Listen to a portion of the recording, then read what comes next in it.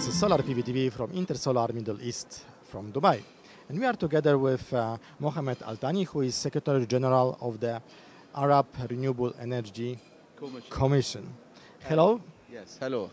So, what brings you here to Intersolar Middle East? Um, uh, we are here for uh, networking and for public awareness and uh, uh, to see what is ongoing uh, regarding renewable energy and uh, energy efficiency uh, in the area. And uh, this, uh, I think, uh, uh, a unique gathering uh, for uh, different uh, player uh, from different countries. And you are coming from Jordan, yes? Yes, for sure. So Jordan is uh, becoming one of the most booming countries in the region. So what is now, let's say, hot? Uh, yes, in Jordan, uh, we have uh, uh, our own strategy, uh, which is depend on energy mix to secure our uh, energy uh, supply for Jordan.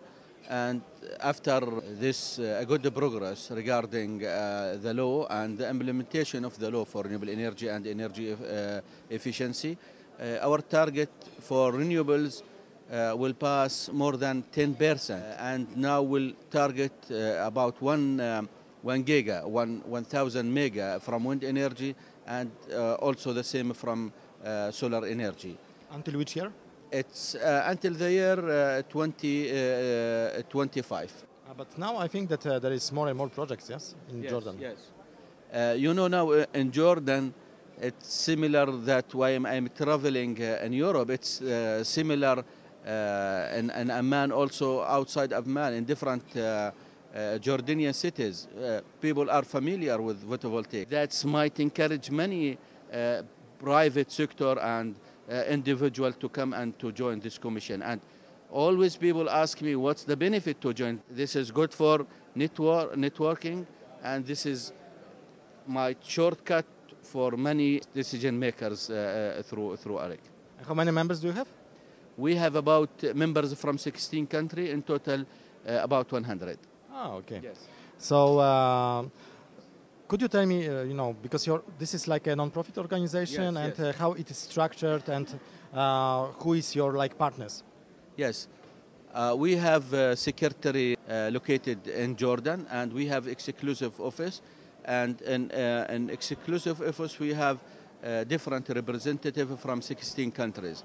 And we have like um, official uh, annual meeting. And uh, in that annual meeting, we have like a paper uh, from different countries to, to see the, the situation in, in each country.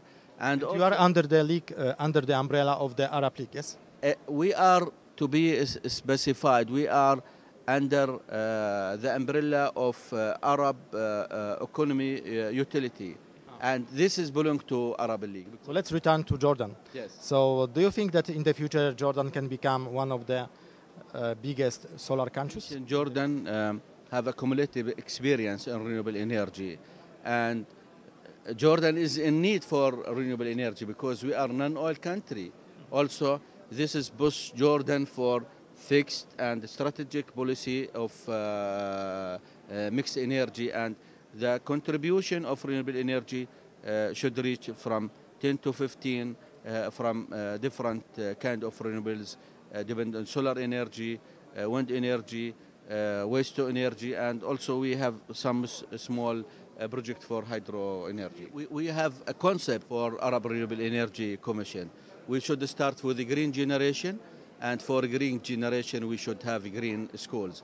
When we have a green school, uh, to find the green generation, this will find the green culture. That's the green culture will uh, uh, push uh, Arab people, and on that, this will find a green government, and this is lead also to a green economy. And this is uh, six G's concept is one of the main vision of of of, uh, of AREC, uh, the Arab Renewable Energy Commission, to take care not just through the individual themselves to to to find a good a good and strong system.